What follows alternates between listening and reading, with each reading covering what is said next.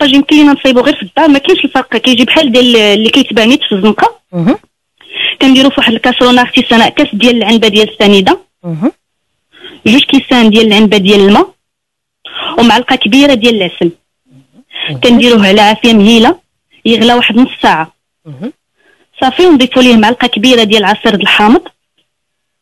شوية د الفاني. قبيصة د الملح. ونخليوه يغلى شوية.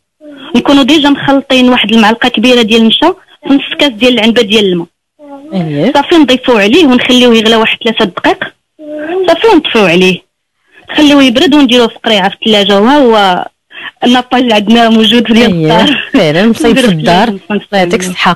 آه، خديجة هادي نور وقيلا اللي متبعة معاك حداك ياك عرفتي ضحكتني. كتقولي انت يا مثلا حلي كتقول لك أها آه.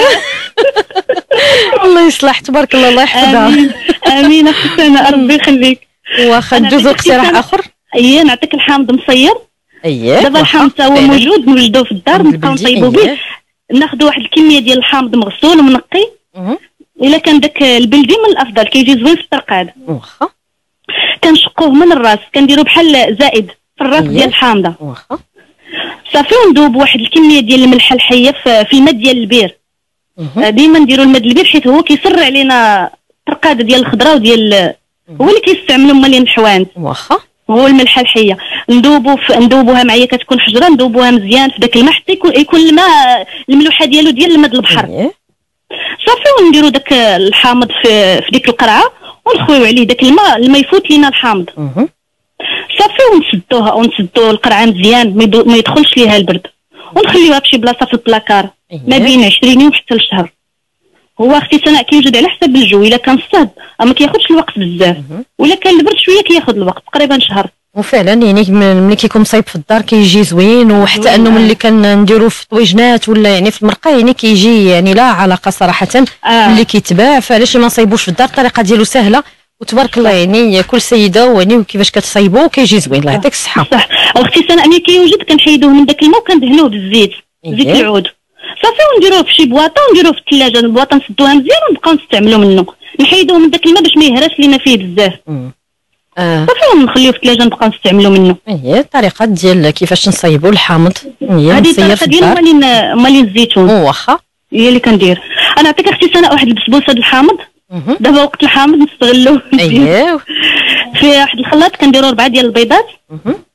كاس ديال العنبة ديال السنيدة وقبيصة د الملح. نضربوهم مزيان. ونضيفوا كاس ديال العنبه ديال الزيت واحد ياغورت ديال الحامض.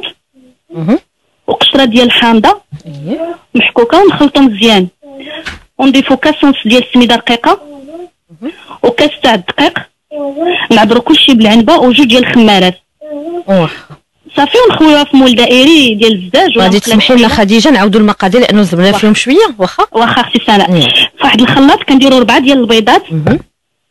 كاس ديال العنبة ديال السنيدة. اييه وقبيصة الملح. نضربوهم مزيان. نضيفوا ليهم كاس ديال العنبة ديال الزيت.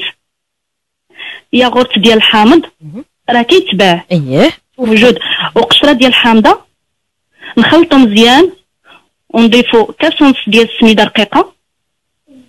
كاس ديال الدقيق. كلشي نعبروه بالعنبة. وجوج ديال الخمارات. صافي نخويوها في واحد المول دائري ولا مقلة ثقيلة مدهونة ومرشوشة.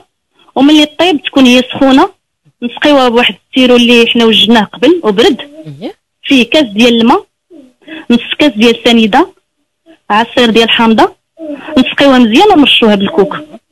كتجي منسمه بداك الحامض. بالحامض فعلا. آه. بسبوسه الليمون وبسبوسه يجربوا. الحامض كيجيو زوينين بزاف ومنعشين. اييه آه.